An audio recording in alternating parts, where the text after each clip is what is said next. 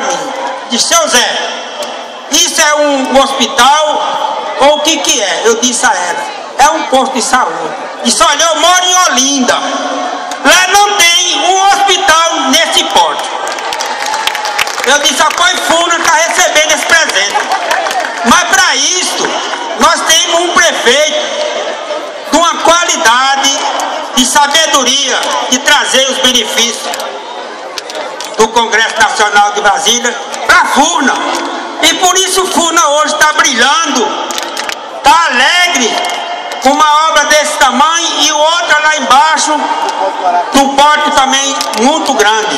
Nós sabemos que a saúde de Funa hoje está em primeiro lugar ao passado, porque nós sabemos que temos aí vários médicos atendendo a população e vamos ter muito mais. Porque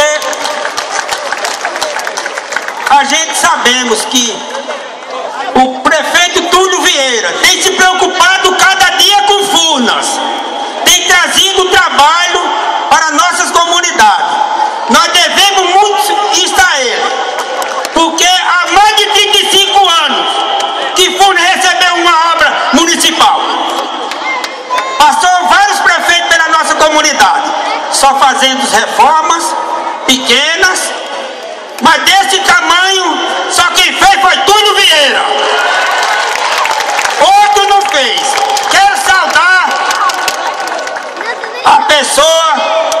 que hoje